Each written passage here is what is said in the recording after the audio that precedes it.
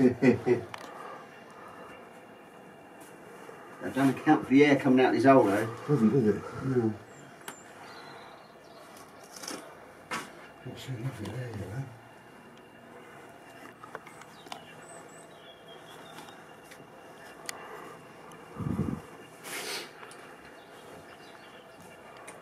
know. Hmm.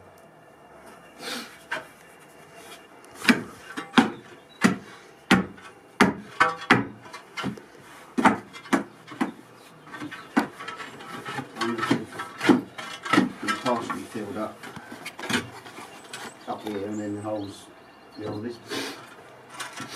Where do you think the hole would be? Lower rather than higher, wouldn't you? Oh, Because we're close to the top of the